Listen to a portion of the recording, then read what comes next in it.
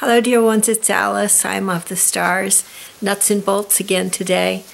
Uh, this has to do with a rather complicated situation in the San Fernando Valley.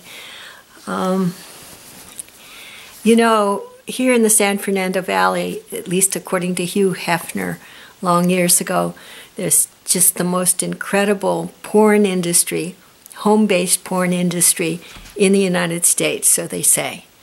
And the porn industry has certain characteristics, at least so I feel from living here for a long time, uh, certain characteristics that, that, make it different from other um, home based industries.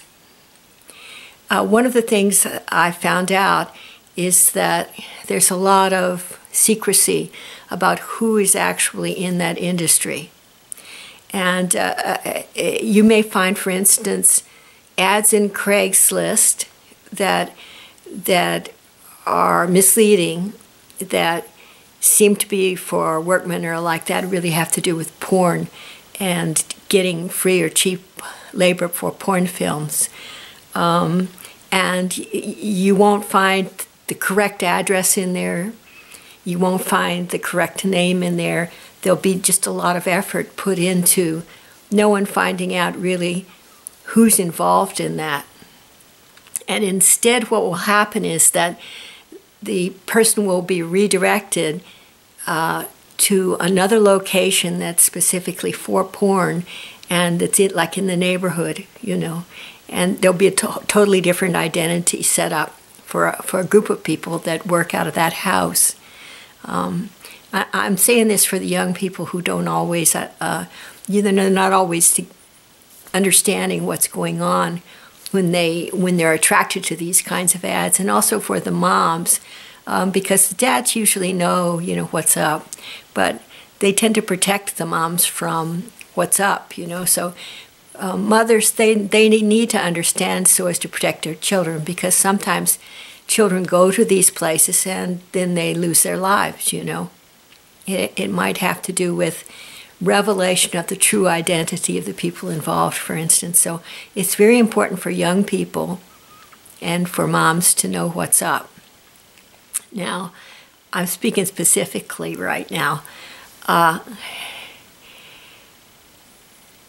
some of the some of the internet providers, my internet provider, for instance, in this area, they scoop a bunch of IP addresses together and they they host them all in the same basket apparently.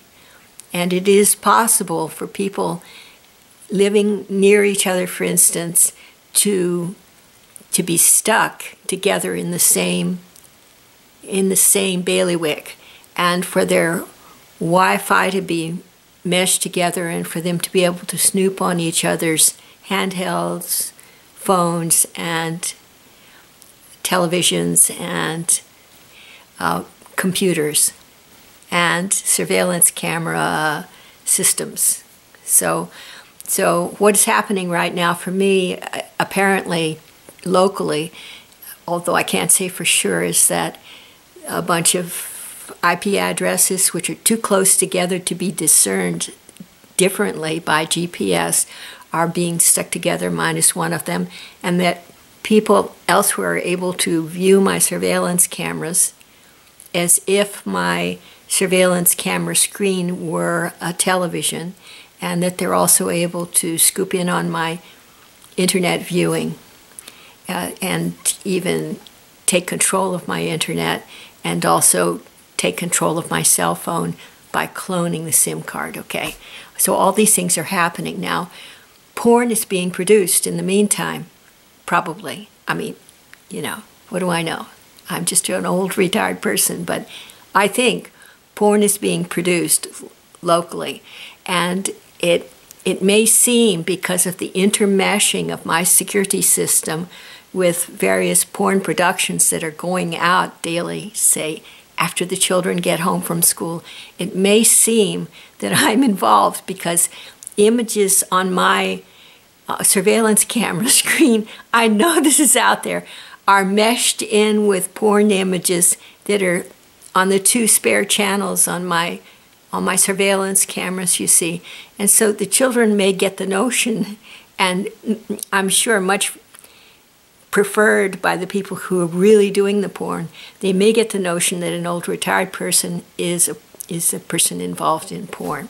And it may seem because of the, the, the way that the setup is, with the spare cameras meshed together with my cameras and the stuff being sent out to the children, it may seem that there's party going on at my house all the time. You know, this is a very quiet house.